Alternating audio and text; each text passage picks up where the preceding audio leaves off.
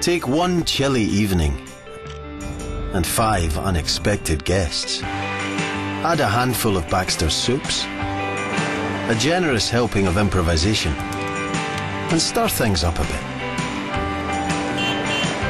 In life, it's what you put in that counts.